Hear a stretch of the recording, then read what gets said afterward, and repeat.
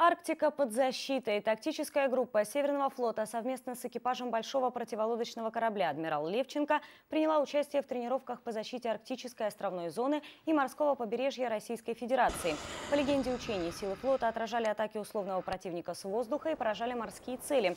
Также применили расчет берегового ракетного комплекса «Рубеж», развернутый на одной из позиций на острове Котельный.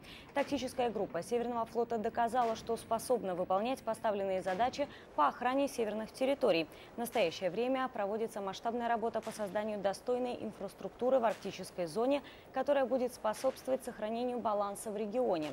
Силы флота действуют в строгом соответствии с принципами и нормами международного права, не затрагивая интересов третьих стран, касающихся части акватории Северного Ледовитого океана, поясняют в командовании флота.